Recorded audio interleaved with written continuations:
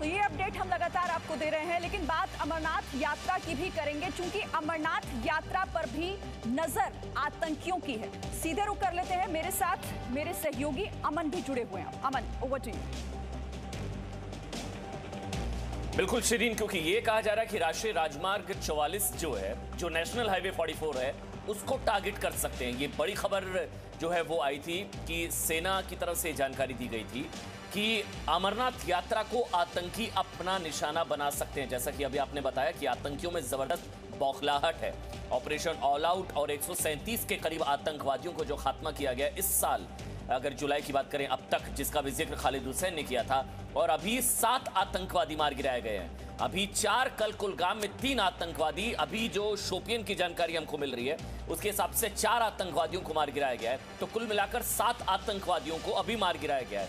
ये इसलिए भी इंपॉर्टेंट है शरीन, क्योंकि कल एलएसी के दौरे पर राजनाथ सिंह आज पाकिस्तान से सटी सीमा एलओसी का दौरा करेंगे राजनाथ सिंह, रक्षा मंत्री, और उस वक्त यह एनकाउंटर लेकिन किस तरह से आतंकी खतरा, अमरनाथ यात्रा पर यह रिपोर्ट देखिए आप।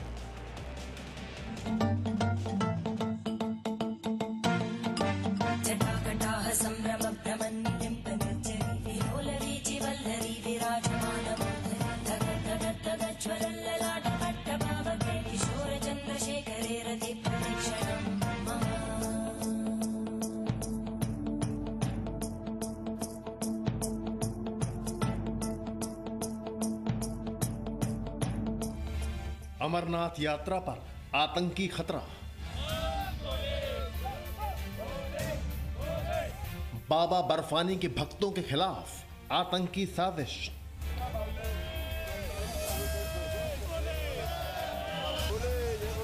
कश्मीर में आतंक का कोड 130 जब शिव का त्रिनेत्र खुलता है तो विध्वंस होता है।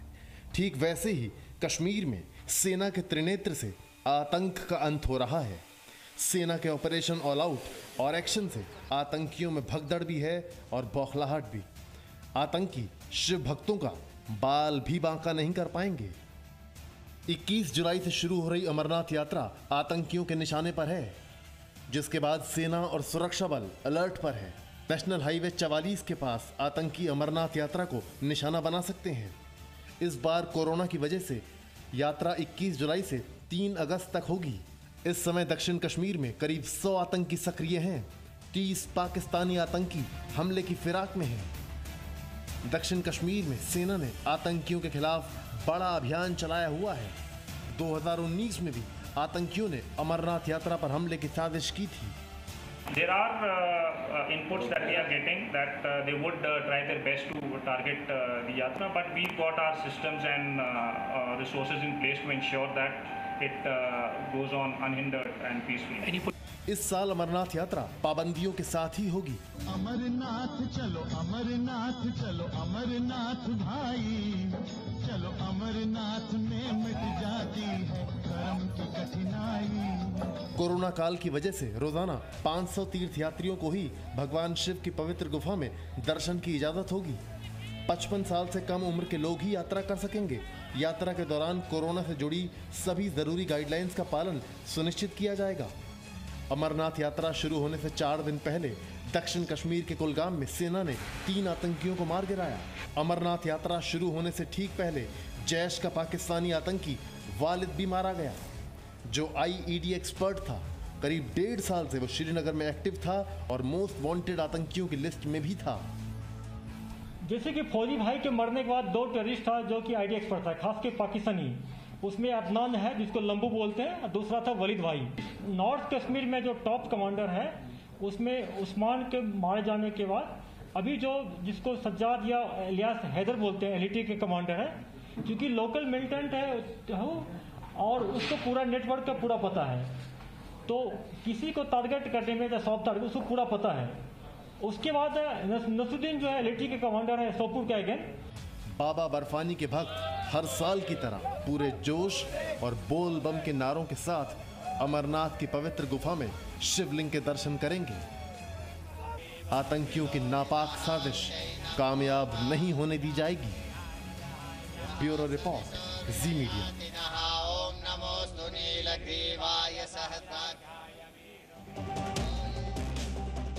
ना तो विस्तारवाद और ना ही आतंकवाद। बर्दाश्त कुछ भी नहीं होगा। तीन तस्वीरें हम आपको दिखाते हैं। रक्षा मंत्री राजनाथ सिंह कल लद्दाख में थे। हमने आपको दिखाया था उनके दौरे से जुड़ी हुई हर अपडेट आपने जी न्यूज़ पर देखी थी, जहाँ सेना के जवानों ने कैसे पराक्रम दिखाया। रक्षा मंत्री राजनाथ सिंह आज पवित्र अमरनाथ की गुफा के दर्शन के लिए भी जाएँगे और रक्षा मंत्री राजनाथ सिंह आज एलओसी पर भी जाएँगे और वहाँ पर सुरक्षा हालातों का जायजा लेंगे। तीन बहुत ही अहम तस्वीरें आज की। तो ये शिरीन की तरफ़ से बड़ी जानकारी दी गई है। अमरनाथ यात्रा जो है, बाबा बर्फानी के दर्शन संभवता कर सकते हैं। रक्षा मंत्री राजनाथ सिंह, कल एलएसी आज एलओसी कल चीन को संदेश, आज पाकिस्तान को संदेश, कल अतिक्रमण पर वार्निंग, आज घुसपैठ को लेकर पाकिस्तान को सख्त संदेश। जब एलओसी पर, हमारे साथ मनीष शुक्ला, जी मीडिया संवाददाता, इस वक्त हमारे साथ जुड़ चुके हैं। मनीष, कल एलओसी आज एलओसी कल अतिक्रमण पर संदेश, आज घुसपैठ पर संदेश। क्या कार्यक्रम रहेगा, आप डिटेल में एक बार बता दीजिए।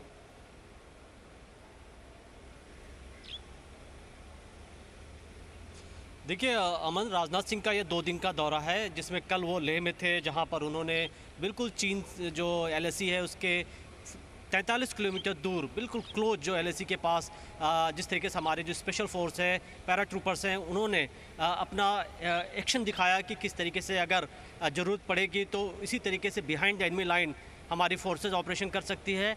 वहीं पर उन्होंने चीन को सीधा सीधा बिना नाम लिए संदेश दिया कि आ, हम शांति चाहते हैं लेकिन हमारी सेनाएँ तैयार है अगर किसी ने हमारे इलाके पर नज़र डाली।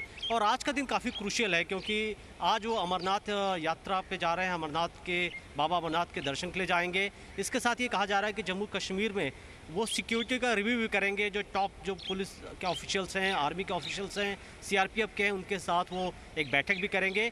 और लाइन ऑफ़ कंट्रोल पर भी जाने का उनका प्लान है। लेकिन कल रात से ही पाकिस्तान ने कई इलाके में सीज फायर वायलेशन करना शुरू कर दिया है। और ज़ाहिर तौर पर अगर आप खुफिया इनपुट देखें तो ये लगातार ये बात कही जा रही है कि एक तरफ़ हमारी फोर्सेस जम्मू कश्मीर में आतंकियों का सफाया कर रहे हैं, वहीं पर जो लॉन्चिंग पैड्स हैं एलओसी के बिल्कुल नज़दीक, वहाँ पर करीब 400 के करीब आतंकी भारत के अंदर घुसपैठ करने के लिए तैयार हैं। तो ये एक चैलेंज है जो लगातार फोर्सेस वहाँ पर आतंकियों से मुकाबला कर रही है पाकिस्तान स्पॉन्सर टेररिज्म का मुकाबला कर रही है और राजनाथ सिंह का जाना आ, कल भी और आज भी जो विज़िट कर रहे हैं वैली के अंदर जो हमारे फोर्सेज हैं उनका मॉरल बूस्टअप करेगा क्योंकि देश हमारा जो है इन जवानों के साथ है और यही मैसेज लेकर के राजनाथ सिंह वहाँ पर गए हैं कि देश समझता है किस हालात में हमारे फोर्सेज काम कर रहे हैं और जो दुश्मन है उसकी किसी भी साजिश को कामयाब नहीं होने दिया जाएगा। और मनीष ये इसलिए भी महत्वपूर्ण हो जाता है क्योंकि आज रक्षा मंत्री राजनाथ सिंह अमरनाथ जा सकते हैं वहाँ जाकर बाबा बर्फानी के दर्शन कर सकते हैं। और थोड़ी देर पहले हम दर्शकों को ये बता रहे थे कि इस बार अमरनाथ यात्रा पर इस बार भी क्योंकि हर बार आतंकियों की निगाह उस यात्रा पर होती है जो बाबा के दर्शन करने के लिए भक्त पहुँचते हैं। तो एक स्ट्रांग मैसेज मिलेगा और साथ ही साथ आतंकियों की हालाँकि कमर तोड़कर रख दी है सुरक्षा बलों ने। ये बहुत महत्वपूर्ण तस्वीरें हम देखेंगे थोड़ी देर में। राजनाथ सिंह की।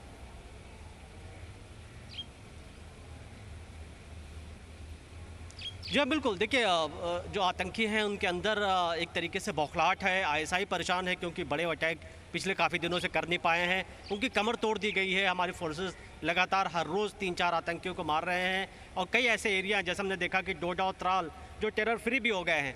लेकिन फिर भी जो टेररिस्ट है, वो कोशिश करेंगे क्योंकि कोई भी एक छोटी भी घटना को अंजाम देंगे और खासतौर पर अमरनाथ यात्रा पे यात्रियों पर अगर इस तरीके की साजिश रची जाएगी तो उसका बहुत इम्पैक्ट होगा। और इसी वजह से जो यात्रा है उसको सिक्योर करने के लिए वहाँ फोर्सेस को कहा गया है। बाबा अमरनाथ के दर्शन के लिए राजनाथ सिंह तो जाएँगे ही।